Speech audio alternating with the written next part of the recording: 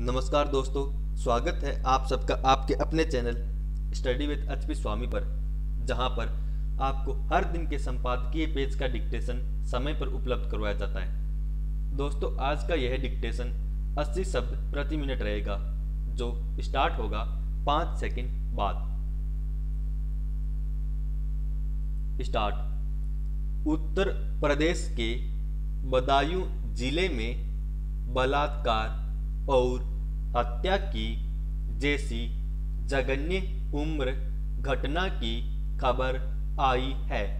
उससे एक बार फिर यही साबित हुआ है कि सरकार और प्रशासन की व्यवस्था अपराधों पर काबू पाने में नाकाम है। गौरतलब है कि बदायूं के उगेती थाना क्षेत्र में रविवार की शाम 50 वर्ष की एक महिला गाँव के मंदिर में पूजा करने गई और जब काफ़ी देर तक नहीं लौटी तो घर के लोग परेशान हो गए।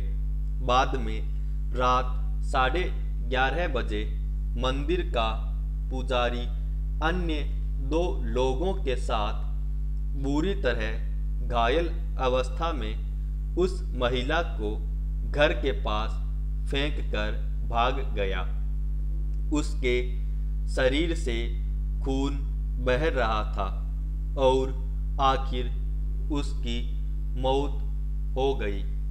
सिर्फ़ इतने पर ही पुलिस को तुरंत सक्रिय होकर मामले की तफ्तीश करनी चाहिए थी। लेकिन लापरवाही का अंदाज़ा इससे लगाया जा सकता है कि रात में ही परिजनों की शिकायत के बाद भी पुलिस अगले दिन पहुँची और पहले रिपोर्ट दर्ज नहीं की। हालाँकि पोस्टमार्टम रिपोर्ट में भी महिला से सामूहिक बलात्कार और जघन्य तरीके से उसकी हत्या के शुरुआती आरोपों की पुष्टि हुई। रिपोर्ट के मुताबिक उसके निजी अंग बुरी तरह घायल थे। लोहे की छड़ से गहरी चोट पहुंचाई गई थी और उसका एक पैर तोड़ दिया गया था। ज़ाहिर है, पोस्टमार्टम रिपोर्ट पुलिस के लिए असुविधाजनक है और इसके बाद महज चेहरा बचाने के लिए प्राथमिकी दर्ज की गई और बुधवार को दो आरोपियों को गिरफ़्तार किया गया, जबकि मुख्य अभियुक्त मंदिर का पुजारी फरार हो गया और वीडियो बनाकर सबको गुमराह करने की कोशिश में लगा था। सवाल है, जब पीड़ित महिला की स्थिति और फिर मौत के बाद प्रथम दृष्टया ही घटना की तस्वीर साफ़ लग रही थी कि उसके साथ क्या हुआ होगा। तब पुलिस ने आखिर किन वजहों से मुख्य आरोपी की बात को सही मानकर चलती रही और मामले को हादसे का रूप देने की कोशिश करती रही। जब पोस्टमार्टम में बलात्कार और उसके बाद बर्बरता के तथ्य सामने आए और मामले ने तूल पकड़ लिया, तब जाकर संबंधित पुलिसकर्मियों और थाना प्रभारी को निलंबित करने की बात कही गई, लेकिन क्या यह सच नहीं है कि पुलिस के इस तरह के रवैये की वजह से भी ऐसी घटनाओं की ज़मीन बनती है और अपराधी मानसिकता वाले लोग जघन्य अपराध करने से भी नहीं हिचकते।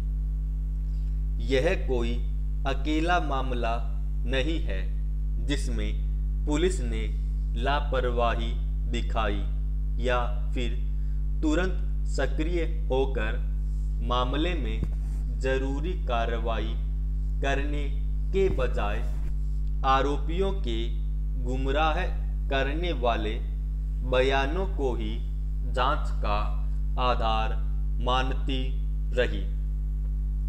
कुछ समय पहले हाथरस मामले में भी सरकार और पुलिस महकमे का जो रवैया सामने आया था, वह आरोपियों के बजाय सामूहिक बलात्कार और जघन्य हत्या की शिकार युवती और उसके परिवार को ही कठघरे में खड़ा कर रहा था, जबकि बाद में सीबीआई ने जाँच पड़ताल के बाद पीड़ित पक्ष के आरोपों को सही माना।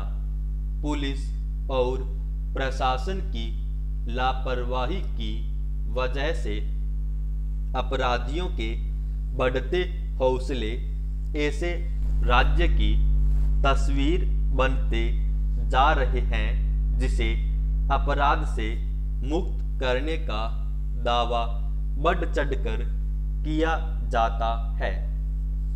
महिलाओं की सुरक्षा और सम्मान की दुहाई देकर बहुतेरे नियम कानून लागू किए जा रहे हैं, मगर जमीनी हकीकत यह है कि दिनों दिन उत्तर प्रदेश में महिलाओं का जीवन असुरक्षित और दुष्कर होता जा रहा है।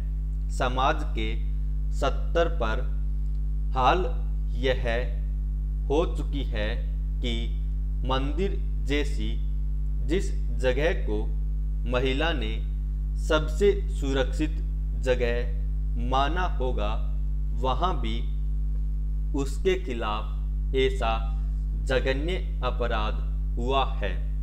उससे जीने का हक तक छीन लिया गया। उत्तर प्रदेश में सब कुछ ठीक करने के आश्वासन और दावे का क्या यही मतलब होता है? समाप्त।